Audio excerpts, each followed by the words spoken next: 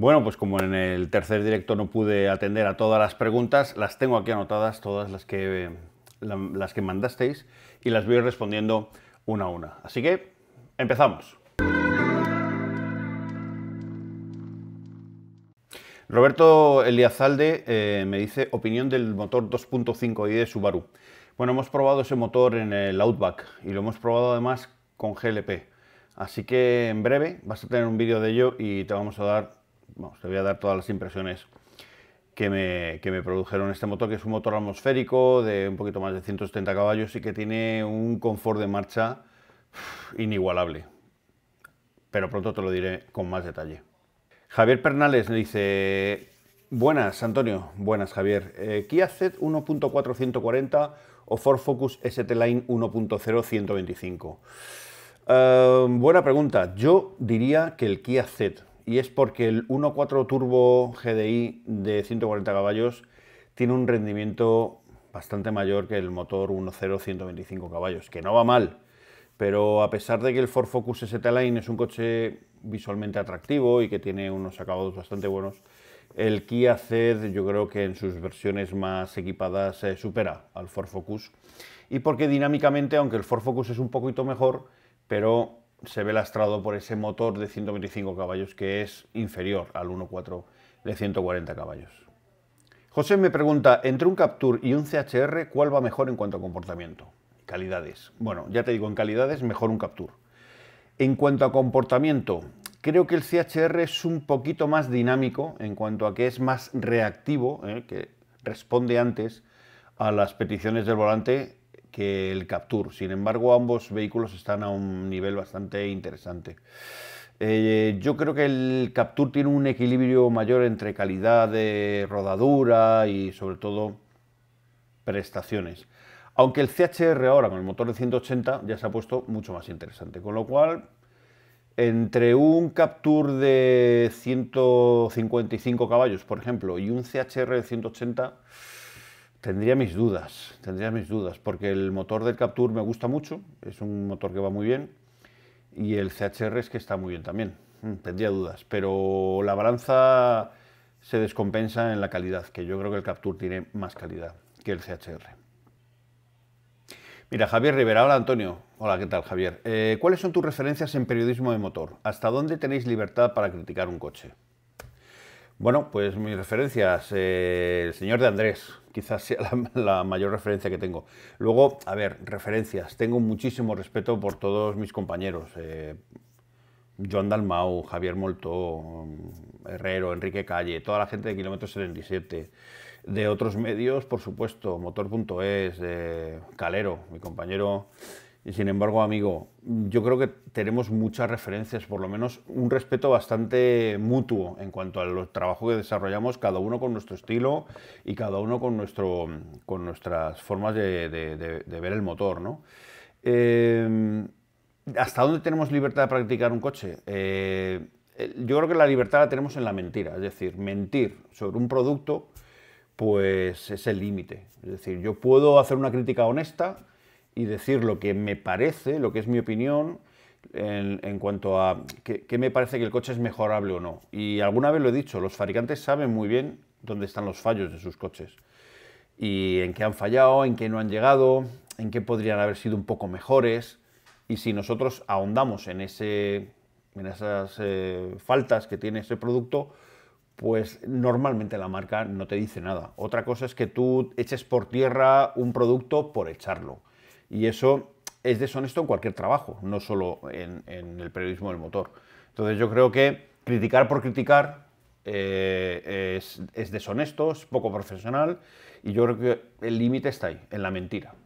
Pero vamos, que yo nunca he tenido... A mí una marca jamás me ha dicho, eh, oye, aquí te has pasado. ¿eh? Nunca. Bueno, tengo que decir que una vez me lo dijo un director de comunicación un exdirector de comunicación sobre un coche en el que dijimos que algunas de las cosas que tenía ese coche eran terribles. Pero porque era la primera versión de ese coche, era un coche que no estaba totalmente puesto a punto, se le veía poco refinado. Dijimos que, bueno, que, uno de los aspectos del coche eran terribles.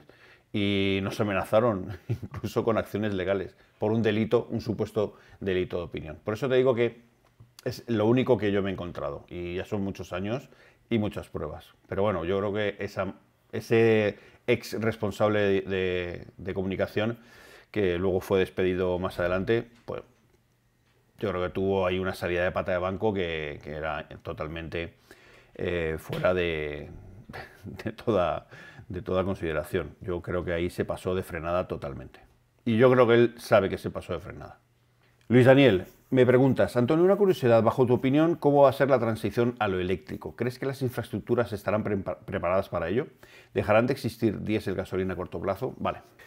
Bueno, pues vamos a empezar por el final. Mm, no va a dejar de existir gasolina ni diésel a corto plazo. De hecho, los planes más más cercanos o más eh, tempranos que hay para, que empiece a dejar de venderse esos vehículos, según previsiones de la Unión Europea y previsiones de las marcas, estamos hablando del 2035.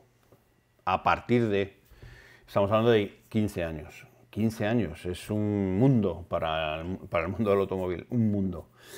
Em, ¿Crees que las infraestructuras estarán preparadas para ello? Va a costar. Va a costar porque, vamos a ver, el problema básico del coche eléctrico es la carga. Tú puedes tener una batería gigantesca, puede ser el coche más eficiente del mundo, pero alguna vez lo tienes que cargar.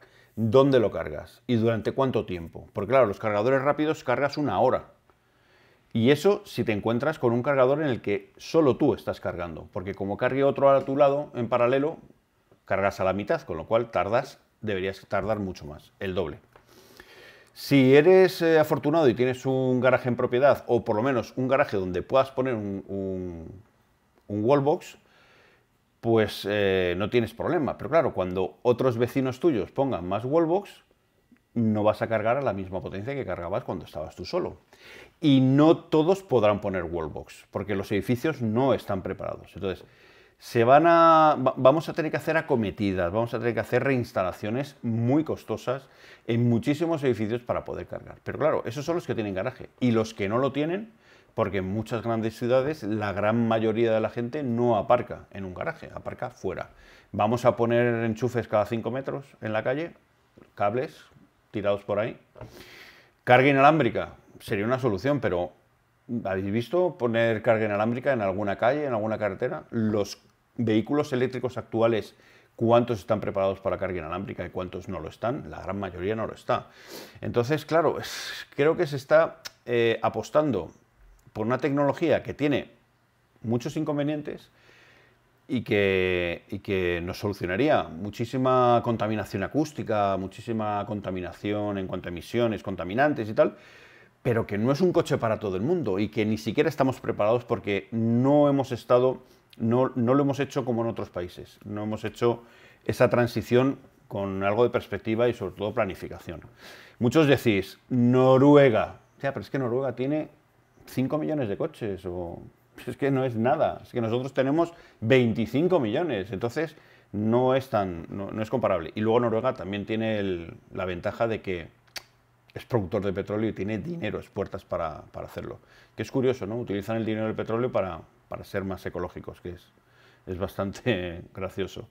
Pero bueno, yo creo que el vehículo eléctrico estará, eléctrico a baterías, que habrá otras tecnologías también, pila de, pila de combustible, eh, gases, em, gas natural, GLP. Entonces, habrá una amalgama, híbridos, híbridos de todo tipo, enchufables, no enchufables, autorrecargables, mild hybrid. O sea que va a haber una electrificación general de lo que es el, mundo del automóvil, pero no va a haber una transición a lo eléctrico a baterías, sino que va a haber diferentes tecnologías disponibles según lo que tú puedas tener. ¿eh?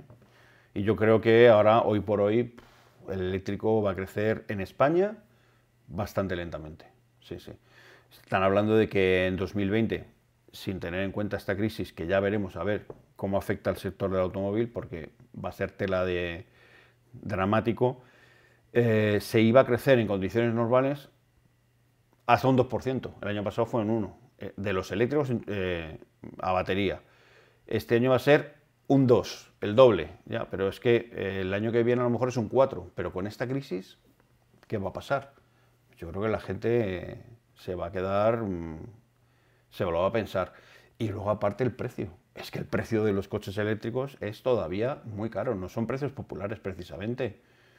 Y las marcas que, más seguidores tienen son marcas de coches de lujo, de precio de lujo, aunque luego no estén fabricados con el lujo que, dice su precio, pero son coches de lujo para gente con mucho dinero. Entonces, o, es que hay mucha gente que se puede gastar 40 o 50 mil euros en un coche. No. Entonces la gente se compra. En España la media de precio de, compra de un coche es de 17.000, 16, 17.000 euros. No puedes pretender vender coches a 30.000, aunque sean eléctricos y maravillosos, que lo son, porque son súper eh, chulos para conducir. El coche eléctrico mola muchísimo, pero no se lo puede permitir todo el mundo. Entonces, es un problema. Luego las infraestructuras, pues las marcas, a pesar de que se llamen Iberdrola y tal, pues es que tienen mil problemas administrativos para poner un punto de carga. Pero mil problemas. es, que es curioso. nosotros los hemos entrevistado varias veces y tenemos hilo directo con Iberdrola, por ejemplo, y nos lo dicen. Dicen, es que tenemos que ir a 18 ventanillas para poner un punto de carga.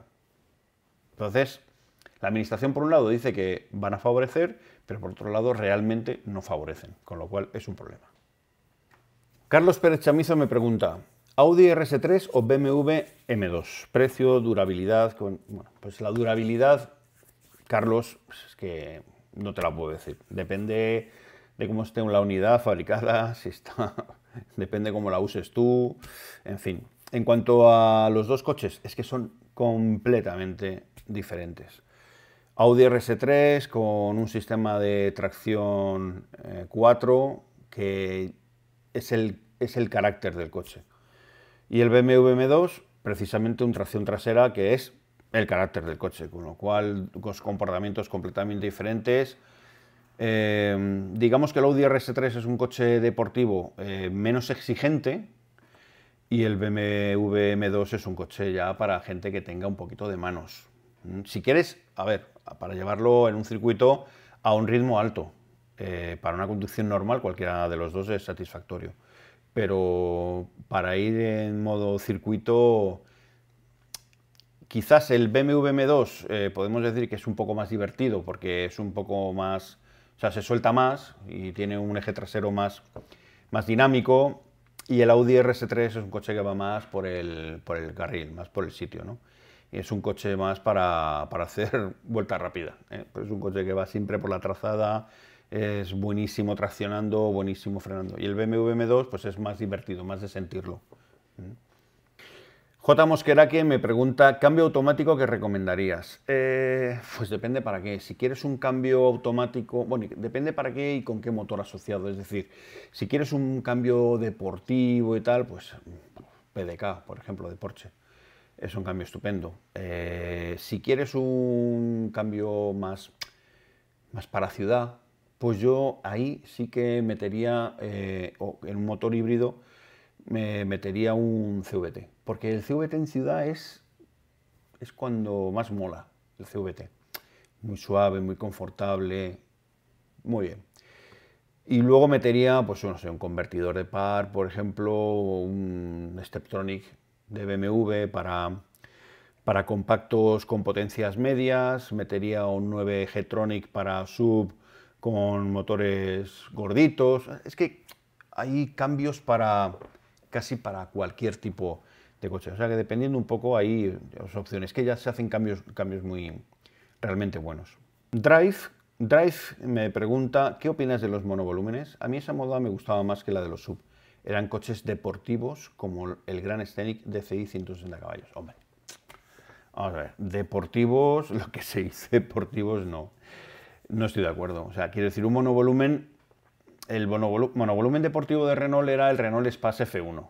Ese sí era deportivo, pero era un ejercicio, era un concept car y era una ida de olla total. ¿eh? Cogieron un motor de Williams F1 y lo metieron en un que lo vaciaron por dentro y se pusieron a hacer, a hacer vueltas en circuito.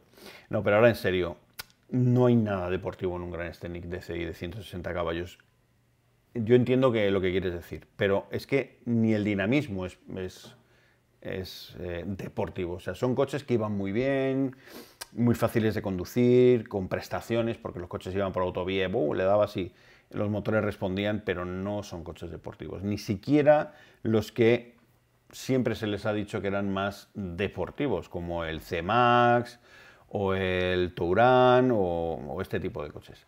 Un monovolumen no puede ser deportivo. O sea, que van bien, te lo compro, pero deportivos no. En cuanto a los sub, bueno, es que son conceptos diferentes. Yo creo que el monovolumen está más diseñado para ser un vehículo de, alta capacidad, donde los eh, usuarios iban más cómodos, para mí, para mi gusto. El sub es un coche donde tener bastante capacidad, pero también tener capacidad para circular en condiciones de adherencia peores. ¿eh? Ya no solo fuera de cartera, sino dentro de la cartera. Por lo tanto, eh, monovolúmenes con, tracción total había muy pocos, muy pocos, se contaban con los dedos de la mano, en cambio, eh, subcontracción total, aunque sean coches que no se venden mucho y que no se compran mucho porque no son muy demandados, eh, hay mucho más. Entonces, bueno, eh, yo creo que yo creo que son compatibles. Lo que pasa es que los fabricantes directamente dijeron quitamos los monovolúmenes y los sustituimos por los sub, porque, porque ya se veía. Cuando salieron los primeros sub, los monovolúmenes cayeron en picado en ventas y eso ya era un indicativo bastante claro. JMNLGN, vaya nombre, perdóname. Buenas tardes, buenas tardes. Me gustaría saber si pensáis hacer alguna prueba de vehículo diésel más GLP, el Dual Fuel. Pues em, no creo, porque esas adaptaciones, creo, creo recordar que no hay ningún fabricante que haga esas adaptaciones de fábrica. Creo que son adaptaciones de postventa, así que disponibles en parque de prensa no va a haber muchas, ¿eh? así que no lo creo. Alberto Argüelles, eh, sigo con lo mío. ¿Comprar eléctrico este año o esperar al próximo año? ¿Harás más pruebas de eléctricos? Vamos a probar todos los que salgan al mercado. ¿Comprar eléctrico este año o esperar al próximo?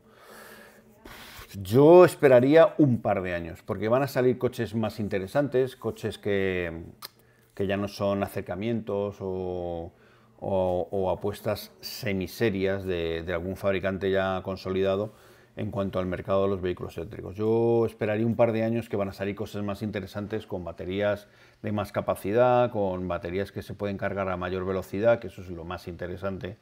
Y bueno, pues eh, seguramente a precios más competitivos de los que hay ahora. Entonces, bueno, yo me esperaría un poquito. Domingo Phantom, diésel o gasolina 2007 o mejor Audi A8 de aquellos años. Y cualquier modelo menos V10 diésel, ¿no? Gracias, echo de menos esos golpecitos salpicaderos. Gracias, Domín. Pues, eh, a ver, hablamos, siempre hablamos de coches de segunda mano. Eh, es que depende el kilometraje que hayan hecho, mantenimiento, cómo esté de cuidado. Es que hay mil opciones de esos años y te puedes encontrar con sorpresas o con el coche que te dure toda la vida. No sé qué decirte, la verdad. Borja Escobar Vega, mejor coche hasta 50.000 euros. Uf, es que hay muchísimos coches con ese precio. ¿Mejor coche para qué? ¿Deportivo, familiar, eh, un sub? Te puedes comprar casi cualquier coche con ese, con ese precio. Yo me, no sé, no sabría decirte. Hay demasiadas opciones. ¿eh? Qué bueno. Santi Ferrol. Hola Antonio, ¿qué te parece conservar el SLK 55 AMG 2005 como clásico de futuro? Enhorabuena por el canal. Muchas gracias, Santi.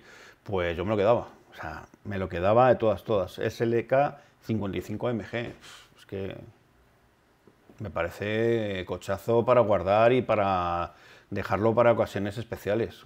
Vamos, es que ni me lo pensaba. Vamos, lo conservaba sí o sí.